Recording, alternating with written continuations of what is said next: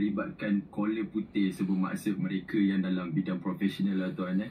Ya betul betul. Okay, so maksudnya um, aktiviti perniagaan yang yang mungkin akan menjejaskan, bukan mungkin tetapi memang akan menjejaskan uh, ekonomi ataupun semua masyarakat. Betul tuan eh?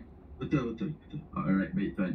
Jadi uh, boleh tak tuan uh, kupaskan sedikit mengenai tajuk kita hari ini yang di mana penipuan uh, ber, berkongsi penipuan umpama anda seorang penipu. Boleh tuan huraikan sikit tuan? Dipersilakan. Baik. Uh, sebenarnya ni tajuk yang menarik eh. Uh, awak bagi saya setengah jam tak cukup. Saya perlukan tiga hari untuk mengupas Boleh, boleh, isu boleh. pasal berita palsu ni eh.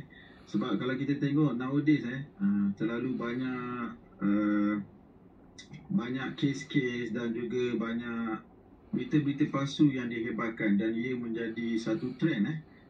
Dan uh, untuk makluman semua, uh, berita palsu ini uh, kita memandang serius kepada kes-kes berita palsu ini kerana kesan dia yang amat uh, bahaya eh kepada kerajaan, kepada negara, kepada institusi keluarga kekeluargaan. Itu sebab kalau kita tengok dalam Islam eh, dia kata al-fitnatu asyadu minal qat.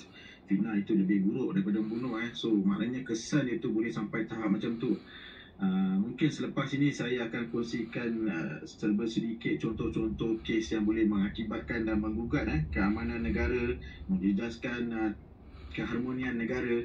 Jadi uh, pentingnya kita tahu bahawa uh, untuk kita mengenal pasti atau kita menyemak terlebih dahulu apa-apa yang kita kongsikan itu amat penting eh. Uh, saya suka guna pendekatan kongsi yang sahih saja.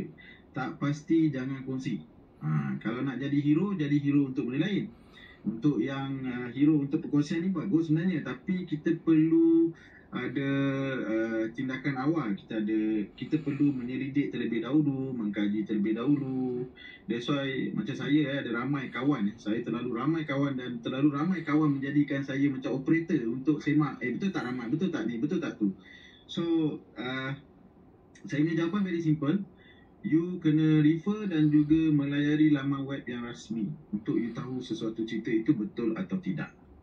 Ha, itu lebih kurang lah uh, mengenai berita palsu uh, yang boleh saya kongsikan sedikit pagi ni. Alright, baik.